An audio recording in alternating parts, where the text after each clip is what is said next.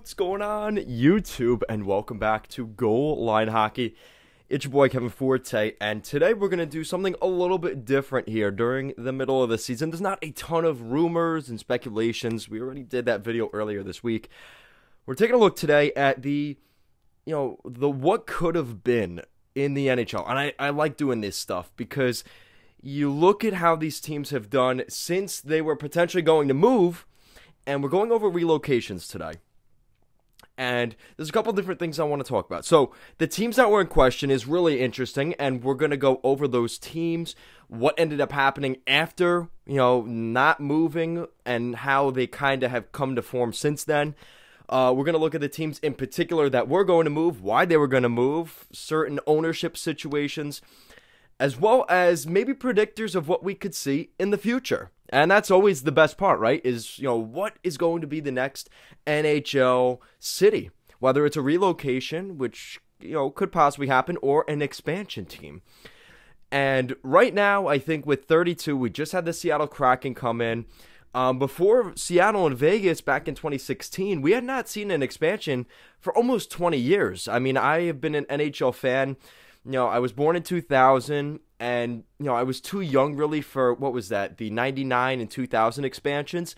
I was still too young. I was still trying to get my feet wet with just you know the NHL that kind of took the form now when I got a little bit older and that was I would say probably when I was like 2008 to 2010 I've been you know relatively following hockey for a decade now. And then obviously as I've gotten older I've gotten more and more involved in it and I can tell you right now, you know, looking at some of this stuff, it is quite interesting to see how the NHL has kind of evolved, really, even in 10 years. So, the first team we're going to go over today is the Pittsburgh Penguins. And the Pittsburgh Penguins have a pretty rough history before Mario Lemieux and the uh, private investor came in to help fund that Penguins team. This was a Penguins team before Sidney Crosby, and once Mario Lemieux retired, there was a lot of talk about the Pittsburgh Penguins being relocated. A couple of different cities in a seven year span. So the first one was Portland. Portland, Massachusetts was the first potential destination for the Penguins. And the Penguins are having problems with ticket sales and you know driving the revenue in Pittsburgh. And there was some questions about you know would they potentially move a little bit more east, uh, closer to the Atlantic, and you know potentially playing in Portland. Uh, Portland's always had an American Hockey League team. They had I think it was the Portland Pirates, uh, which was a Florida Panthers assist, uh, AHL team for a while. I think they might have been the Avalanche affiliate for a while. We've seen teams in that area. Obviously, the Providence Bruins, who are still there today. The Springfield Thunderbirds are a team, again, in that similar vein of area. So we've seen a couple of different teams in that Massachusetts area. So it would have been interesting to see another team potentially playing right down the road from the Boston Bruins, an original six franchise. And that was back in 1999. Uh, then came Kansas City.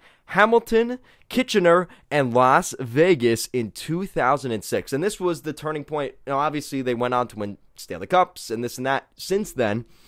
Uh, but this was, you know, remember, this is right around the time Sidney Crosby was being drafted in Pittsburgh. Uh, they win the draft lottery, and that changed everything for this organization.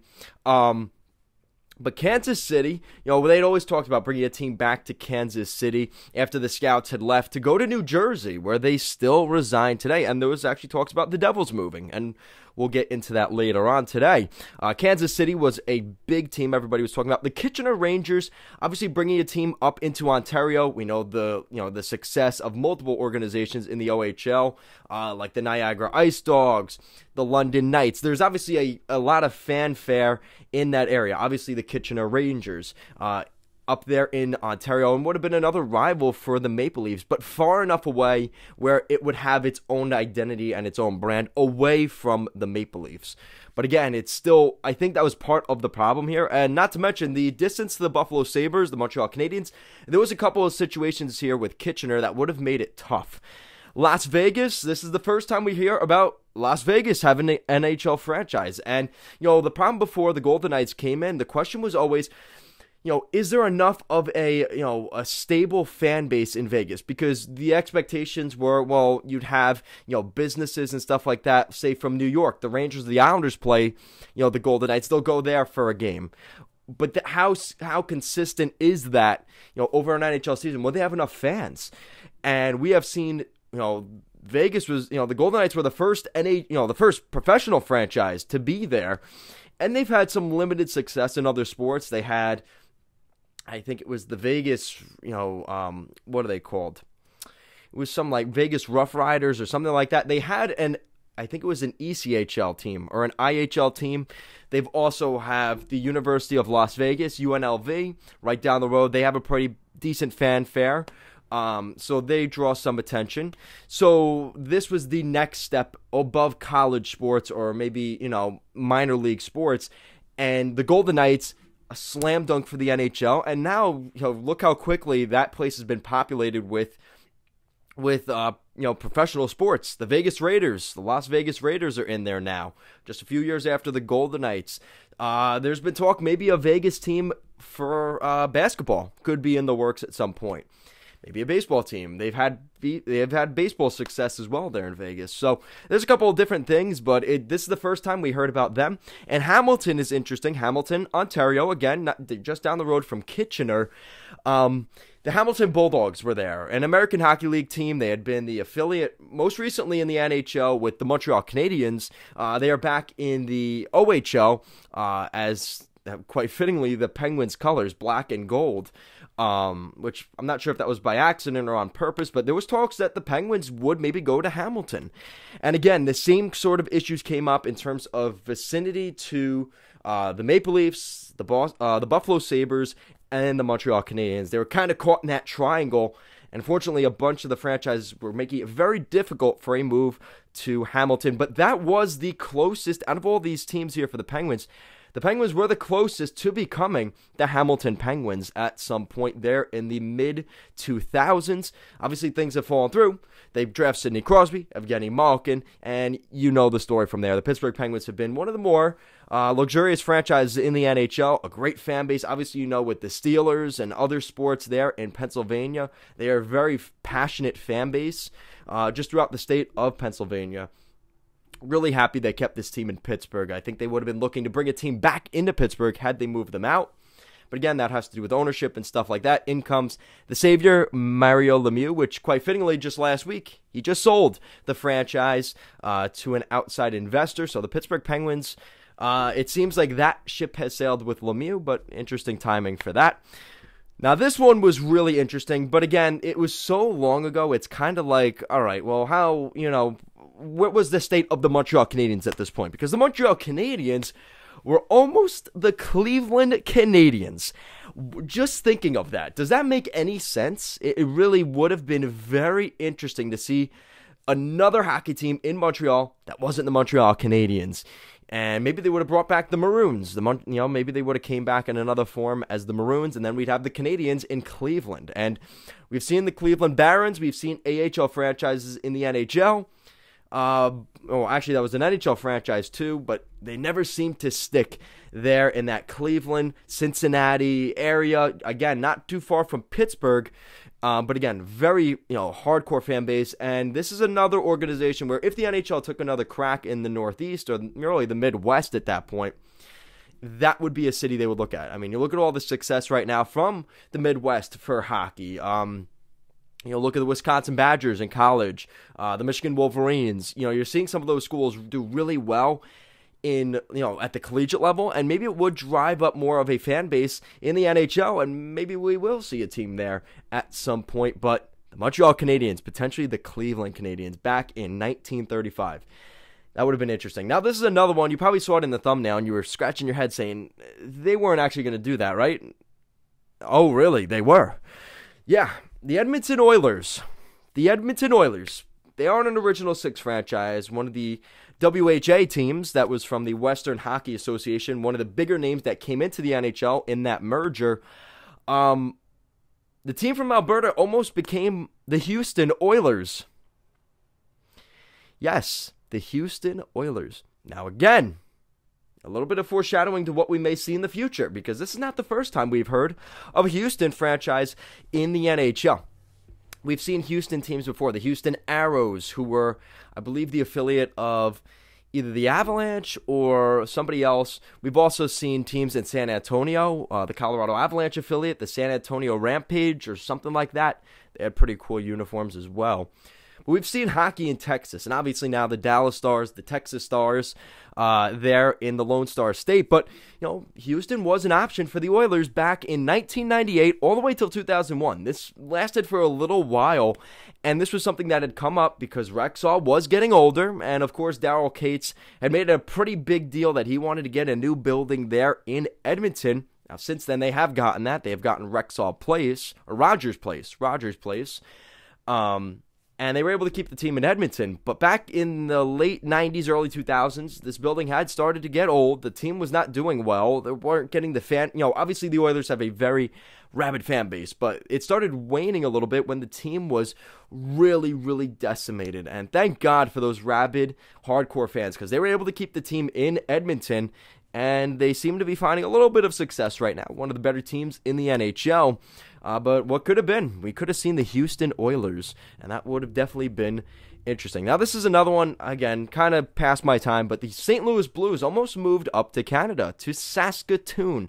Now, there is currently a team there, the Saskatoon Blades, playing in the Western Hockey League at the junior level. Uh, this was back in 1983, and there was some talks about the Blues. Again, a new franchise in that city in Missouri, and they were taking, a, it was, it was a rough patch there for them. And then we started to see some of the bigger boys come into St. Louis. They started to find some mitigating success success, and it was just enough for them to stay in St. Louis. And look what happens in 2019. The St. Louis Blues win their first Stanley Cup there in St. Louis, and there was trying times there. I mean, they had Chris Pronger. I, they had Gretzky at one point. You know, they had a lot of guys in there. They just weren't able to get it done. Uh, but now the Blues look like a pretty stable franchise at this point in the Midwest. Again, like we just talked about Midwest teams, they do want to keep those guys around. And if anything, they may look to add more at some point.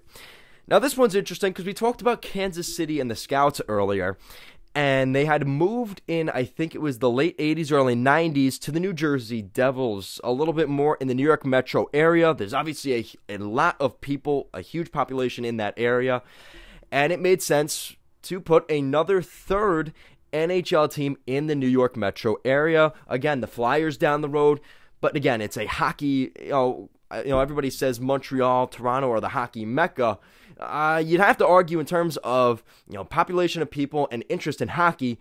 That northeastern area, that little pocket there, we've got Philly, New Jersey, Washington, the Islanders, the Rangers, and the Devils, is a pretty, if you look on a map, it's a pretty small distance between most of those. Obviously, it's multiple hours away, but in the grand scheme of things, they are very close to each other. Again, dense population along the coast. We've seen that kind of work on the West Coast as well with teams like Anaheim, LA, San Jose, kind of the same vein.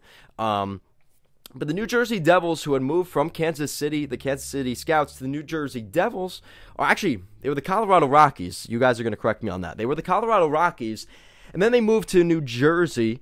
And not too long into their situation, um, there was some talk that maybe they could move back toward the Midwest area, toward Nashville. And the Nashville Predators, again, this is the first time we hear about the Nashville Predators. You see the jersey I'm wearing. They did end up getting a team in Nashville just a few seasons later. And the Nashville Predators were an expansion team in the late 90s. And, you know, obviously we've seen the success they've had since then. Not Stanley Cups yet, but a pretty profitable prop, profitable franchise. And the New Jersey Devils almost went there. They were almost relocated there, and the NHL found a way in expansion to bring the Nashville Predators their team in Tennessee. And the New Jersey Devils stay put. Uh, obviously, you see what happened just a few seasons later. In the next seven, eight years, Lou Lamoriello had built a little bit of a dynasty in the late 90s and the early 2000s in New Jersey, even in the mid 2000s, in the mid 2010s. You know, the Devils had some really good teams under Lou Lamoriello. So, good thing that the Devils stuck around because you look at the success that they've had staying in New Jersey, and it seemed like they were on the brink of leaving, and all of a sudden, here they go, and they look like one of the better franchises in the NHL, winning two cups in three seasons and going on multiple cup cup runs with Lou Lamoriello, and and history writes itself. Marty, Marty Brodeur, Patrik Elias, Ilya Kovalchuk for a little while later on. This was a very you know a very very good franchise in New Jersey, but those questions are always up there in New Jersey. Now, speaking of the Nashville Predators, just a few seasons into their existence, there was already talk in 2007 that the Nashville Predators could be on the move Again, we've heard this city before Hamilton. Hamilton, Ontario comes up again in 2007. And again, you look at the context, this is right around the time that the Pittsburgh Penguins were so, so, so close to moving to Hamilton. The Penguins stay put, and then the next year, the next team that was on the docket for Hamilton was the Nashville Predators, who had not even, I think it was, it might have been right before the 10 year anniversary of the Nashville Predators already being relocated. And the NHL stuck to their guns. They stayed in Nashville. They keep the team there. And again, the location, location, location means everything. Being so close to Montreal, Toronto, and Buffalo was a huge part of the reason why things fell through. There was an ownership, there was building in Hamilton. They just couldn't fin- finish bringing a team in. And that's what ended up happening. And the Arizona Coyotes, we know they've got a pretty rich history in their own right. Another team in the 90s that comes in, they return uh, as their original team was, well, actually, no. The original team went to Winnipeg and actually hold on. No, the Winnipeg the first Winnipeg Jets team moved to Arizona and then the Atlanta Thrashers who were an expansion team moved up to Winnipeg. The Atlanta Thrash uh, the Arizona Coyotes were an expansion team that was brought in and it, you don't see that very often. A especially the Canadian fan bases were extremely upset and went into an uproar when a Canadian hockey city, a blue blood hockey city in Winnipeg, who always has teams up there in Manitoba, gets relegated to southern Arizona and becomes a team in where were they? I think they were in Phoenix at the time when they first came in. And that was just a huge middle finger to to Canadian sports fans, uh, hockey fans in particular. But the NHL was trying to grow the game, and that's what they thought would work. And Gary Bettman still continues to try to make it work in Arizona. We're seeing the same issues right now in Arizona in terms of them moving. But the Arizona Coyotes in 2000 and in 2009, there was a couple of times, it seems like every decade now, you're looking at the pattern here. In 2000, it was Portland again. Portland, Massachusetts was on the radar. We heard about maybe the Pittsburgh Penguins moving there just a few years sooner. Arizona came up, and then again, Hamilton comes up again. So this is the third time we've heard the Penguins in 2006, the Nashville Predators in 2007, and two years after that, in 2009, in a span of four years, um, or in span of three years, we had heard of three different organizations that were in the running to potentially go to Hamilton. The Penguins, the uh, the Penguins, the Predators, and the Arizona Coyotes. So interesting little thing there uh, that I wanted to mention to you guys. And, you know, right now we're looking at, you know, 10 years after that since the Hamilton thing. And everybody's talking about the Arizona Coyotes. You know, three decades in, it seems like every decade the Arizona Coyotes have been talked about being relocated. We're hearing it again right now for Houston. And Houston seems to be the favorite right now um, in terms of what we could see as a future expansion. We've heard their name come up a couple times here in this video. Hamilton's come up. But again, I think a lot of those fan bases are already kind of entrenched. Either you're a Montreal Canadiens fan or you're a Leafs fan. You've already kind of got your digs in there. So for a team to go in there and they don't have success, it's going to be really difficult for them to build their brand when you have Montreal and Leafs fans just completely invading your your organization. And it's not a bad thing for those teams. They're very, you know, passionate fan bases. But the problem is it's kind of already segregated to where it would be difficult for you to step in there and take that role. And that's why the NHL would rather look at, say, the Midwest, a team maybe in Iowa or maybe another team in Illinois. We you know, the Chicago Blackhawks have been there for a long time. Uh, and had had lots of success. Obviously, cities like Milwaukee have come up, but again, how big of a population is there? And the NHL, if they had to choose between Iowa or Milwaukee or Houston, uh, the largest U.S. city in terms of population overall in any city, they're going to probably choose where the money's at. And that right now is in Houston.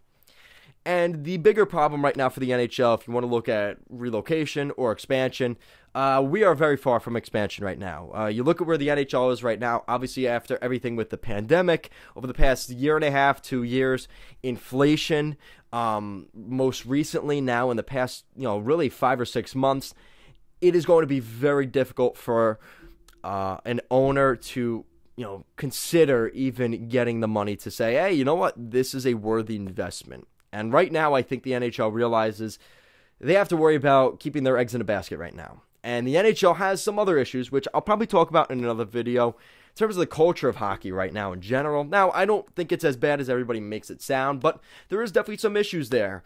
And I think we're going to have to wait till another commissioner comes in after Gary Bettman for the NHL to decide what they want to do in terms of expansion. Because we've seen since Gary Bettman's come in, early on, he was very much pushing more teams in more cities, moving things around. And then things kind of steadied off. And then they decided, all right, well, we're going to do Vegas and Seattle in a span of five years and that seems to be working quite well. Um, but what is next for the NHL? And I think that's why a lot of fans, you know, with everything that's happened in Chicago, uh, everybody's looking at things that have happened in Anaheim recently about what the direction of the NHL is moving forward as potentially sponsorship deals start getting pulled away and stuff like that. You wonder what the direction is for the NHL. Would teams want to expand right now? I think the NHL has to cover themselves right now they're obviously at a, you know, the salary cap is not going up. It's called the flat cap era right now, where the NHL salary cap does not move right now. Uh, it is staying put every season. And that is because of this pandemic we've gone through. The NHL has lost a lot of money. The NHL ticket sale prices are surging. We're seeing teams across the league struggle to, uh, you know, meet their revenue demands. We're seeing, you know, cities that have had, you know, sellout records broken in terms of, you know, not selling out, you know, tickets. You talk about Chicago, probably a little bit of their lack of success. Pittsburgh, kind of the same thing, but again, you know, kind of weird. Uh, even you know cities like Montreal, Toronto, Toronto, they're giving they're doing giveaways right now in Toronto or little combo ticket deals.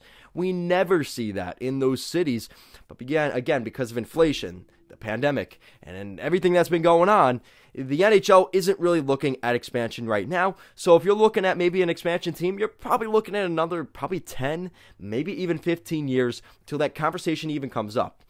And then, like we saw with Seattle and Vegas, it is a slow process. So even when they announce, oh, you know, this team will be coming in, you're looking at another five years of, you know, finding a general manager. You know, you know, first off, you have to get the ownership, you have to have the building, then you have to get management, you know, um, you know, coaching staff built up, and and that takes time. So we're looking at probably at the very least 15 years for another expansion team. In terms of relocation, though, there is some conversation for that in the more near future. That economically doesn't affect the NHL as badly. Um, but again, it comes down to who's going to fork up the money as an owner to move a franchise during an during a pandemic. And the price of teams has skyrocketed. The prices of everything has skyrocketed, as we all know. But again, do you want to be the guy that buys the team and then the market crashes and then you're stuck with something that you can't really invest in? Those are the kind of conversations right now that owners and billion bazillionaires are thinking in terms of if they want to buy an NHL franchise or not. So, temper your expectations for another franchise coming in. I know we've gotten a little bit spoiled the last five years. But I think it's going to be a little while, but I thought it would be fun to go over the past of the NHL and again, it does have a little bit of a foreshadowing to what the future could be because we've seen some of these teams that I mentioned, they come up again and again and again. And when they come up enough times, pen- potentially their head is sticking up above water enough, somebody kind of waves them in onto the boat, and there you go. You have an NHL franchise. And that's what we saw from Seattle, we saw it from Vegas is Houston that next city? So, guys, let me know what you think in the comment section down below. What will be the next NHL expansion city? Let me know your thoughts down below. Guys, as always, thank you so much for watching this video, and I will see you again next time.